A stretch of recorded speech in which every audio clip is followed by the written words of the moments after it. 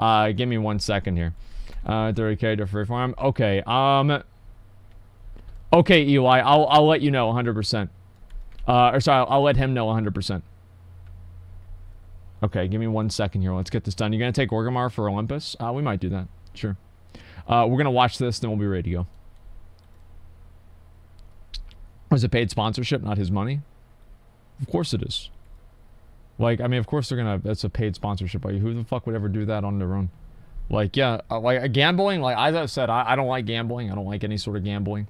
Uh, I'm at the point now where I'm. Uh, I just I'm not a fan of it at all. And so uh, it's always, you know, that's gonna be my stance on it. And uh, hopefully, I, I I, I never want to take any sort of gambling sponsorships or anything like that. I just I, I don't feel like it's uh I, I don't feel like it's responsible. And I, I, I much I feel much better promoting living at home with mom and not getting a job and being a dredge and a drain on society than gambling.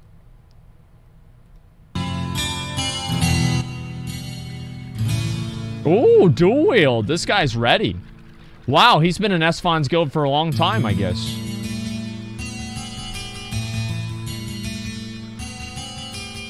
Okay. Thunderfury. Blessed Blade of the Windseeker. Did anybody say it? Hey guys, what's up? Mad Season here, back with another video for you. Okay. Some people liked my latest video about Quel'Serrar, so I thought it might be fun to start a whole series about some of the more iconic weapons in the Warcraft universe. I actually need to watch the video about Quel'Serrar, just so I know what to do. Because I actually have no idea how to get Quel'Serrar. I know it has something to do with a compendium of dragon slaying or something like that. Foror's compendium of dragon slaying. I have no idea how to get it though. I'm calling it the Azeroth Arsenal, and what better way to start it with none other than Thunderfury, the Blessed Blade of the Windseeker. There it is, dude. Being one of the first legendaries released back in vanilla, is quite possibly one of the most iconic, if not the most iconic weapon in the entire game. I'd say it to probably get it is. back then, you needed Yeah. three things luck, 39 friends, and a lot of gold. But before we get into how to actually obtain it, we should first talk about the history and lore behind the weapon to get a good understanding of why it's epic, or legendary, I guess. Yes. I'll give a very abridged retelling. Simply put, it's the weapon of the former prince of all wind elementals, Thunderaan. That fucking asshole. A very long time ago, before the time of man, Azeroth was a stage of Damn, an that all-out looks war fucking between badass. the four elemental lords. Ragnaros the Fire Lord, Al'Akir the Wind Lord, Neptulon. Neptulon the Tide Hunter, and Therazane the Stone Mother. Oh, jeez. Their itinerary was Thick. basically to keep Azeroth in a perpetual state of chaos and destruction. Why? Well, why not? Actually, it was because there was a fifth element, Spirit, that was being consumed by the world soul, Azeroth. What the This fuck? sent everything off balance, and as a result, the remaining elementals became quite violent. It's sort of like Captain Planet, with Spirit as heart. So, these elemental I never lords were at constant Planet. war with one another, and were free to do as they pleased until the old gods arrived. Being far more powerful. I remember powerful like the villain in Captain Planet was like really hot, right? It was like this girl. That's like literally the only thing that I remember about Captain Planet at all. That's the only thing. And it was meh. Yeah, that's Power Rangers. I don't remember, man. I remember I, I, I was like, damn, she's hot. And that was the only thing I remember about the entire fucking thing. The elemental lords allied together in light of a common enemy. But it wasn't enough. Okay. They were defeated and were swiftly enslaved by the old gods and became tools to be used. wow. The Pantheon would eventually arrive and defeat the old gods Oh, and put shit. the elemental That's lords in Sargeras. timeout, basically, and Damn. imprison them in their own elemental planes. The Firelands for Ragnaros and Yep. all of the fire elementals, Deepholm for Therazane and her earth elementals, Holy shit. Skywall for Al'Akir and his winds, and the Abyssal Maw for Neptulon and his waters. I guess I never really put all No this longer together. having that common enemy, the elemental lords continued their war with each other, and a battle called the Elemental Sundering took place. Okay. It was a 5,000 year war between two main belligerents, Ragnaros and Al'Akir. I killed both of them. I had both their mounts. wasn't playing fair though. He had his two lieutenants, Baron Geddon and Garr, deceive and betray the prince of the air Damn, elementals. dude, Baron Geddon works out. They lured him into a trap where he Wait, was struck wait, down wait, by I Ragnaros, read- I the prince of the air elementals. Thunder elemental sundering took place. Sorry, I, I'll It was a again. I 5,000 year war between two main belligerents, Ragnaros and Al'Akir. Ragnaros wasn't playing fair though. He had his two lieutenants, Baron Geddon and Garr, deceive and betray the prince of the air elementals. That's why they have the bindings. They lured him into a trap where he was struck down by Ragnaros and his weapon, Sulfuras. We'll talk about that one in another episode. That's why they have the bindings. Ragnaros consumed much of Thunderaan's Shit. essence and became far more powerful, but he saved some for later. Wow. He stored what little remained of Thunderaan's essence in two special artifacts, the Bindings of the Windseeker. These were placed in the hands of his trusted lieutenants, Garr and Geddon, where they would patrol the caverns of the Molten Core to protect Ragnaros during his slumber. So, these two bindings, although it's just a small portion of his essence, hold incredible power and would be key in creating a weapon capable of harnessing the fallen prince's power. Holy Which brings shit. us to the events of World of Warcraft. The first two raids in the game were Onyxia's Lair and the God Molten damn, Core, dude. This is. the dawn of I didn't know anything about the lore. That's right. No longer were you with four others strolling through a dungeon. You were with 39 other people working together to make it through this ultimate challenge. At You can tell for sure this is a vanilla screenshot, not a classic screenshot, because there's a moonkin in the picture. Like that, this would never happen in, in in classic WoW. This would just never. This would never happen. And there's also five other druids. This, there's no reason for that. point in the game, even epic items were very rare. Yep. So not just an epic, but rather a legendary, Legendary. was, well, Massive. They required a lot of luck and dedication, and only a very small percentage of the player base would ever get them. Even to this day, 13 years There later, is. I- Thunder just like is still drop, only man. held by a small percentage of the player base. I love seeing them drop. So, how did you get it? Well, Geddon and Garr were both bosses in the Molten Core, which held a whopping 10 bosses total, hmm. ending with Ragnaros himself. That was nine. There were different orders in which you could defeat the bosses, Yep. but they were generally the fourth and sixth bosses respectively in the raid that people killed, Generally. so fairly deep within the area. They were quite difficult during the time, mainly because, like I said, this was one of the first raids. People, for the most part, had no idea what they were doing, and it was chaos. But Yeah, eventually, that's people true. started getting the hang of things That's and were very able true. to take them down. They dropped several epic purple items as a reward, and a very, very small chance to drop a binding of the Windseeker, Oh, the man. artifact Ragnaros had entrusted to them long ago. Oh man. Baron Geddon dropped the left binding, That's and so Garr dropped the right binding. The flavor text reads, the left and right halves of Thunderaan's eternal prison. One player needed to get both of these to be able to start the process to obtaining Thunderfury. Another That's thing I be should say is that today. this was also back when people used Dragon Killing Points, or DKP for short. Like I said, with 40 people in one raid, Ooh, it was get that today, chaos, and this point system was a way to try and have an orderly way of distributing items to all 40 of these players. That's unfortunately what people that have to do uh, if they don't have somebody who's as ethical and fair as I am uh, in terms of distributing loot. Uh, you know, like obviously you have to do that. Like if you don't really have somebody that really knows what they're doing. You would earn these points by killing bosses and then Yeah. spend them on items. And with Thunderfury being equipable by every class who could hold a sword, there was a lot of competition. If your guild was It's actually not true. Uh, you couldn't use it if you were a mage. Mages can use one-handed swords. Slight inaccuracy in this video. Uh, the restrictions were relaxed later on, as far as I know. Lock too. smart though, they would limit it preferably to warrior tanks and maybe DPS rogues since they got the most use out of it. Yep. But like I said, no one knew what they were doing back then, so even hunters would get it in some cases. So, you would rate the Molten Core weekly, hope and pray that the bindings drop, and hope and pray that you have more DKP than everyone else.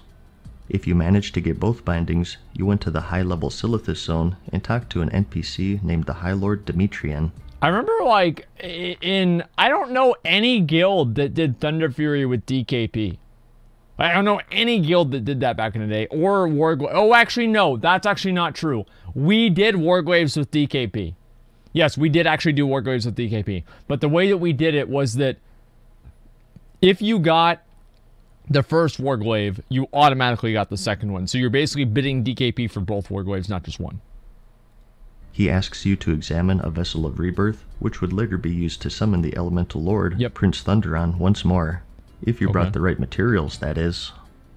To do this, you needed four things the left binding, Right. the right binding, the essence of the Right. Fire Lord, which is dropped by Ragnaros, True. the final boss of the Molten Core, Would have never and guessed that. 10 legendary enchanted Elementium bars. You can only get those in BWL. so, we have the bindings covered pretty thoroughly. As for the essence of the Fire Lord, though, this was quite hard to obtain as you would imagine.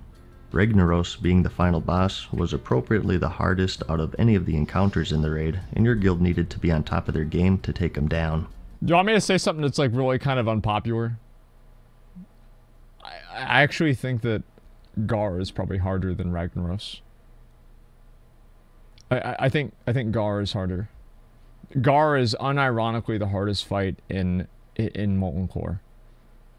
I, I'm not even kidding. Like Garr is actually Majordomo. No, you just CC all of the mobs and then kill the melee ones. You can AoE them down, like a- and like PvP takes no skill. Well, it's Garr. Yeah, requires more coordination.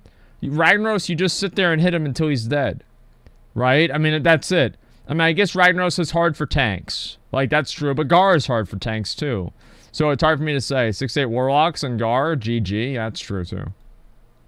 You couldn't skip right to him either. You had to kill all nine other bosses and extinguish the ruins near them Yeah, yeah, you unlocked the got our NPC first, uh, that summoned Ragnaros.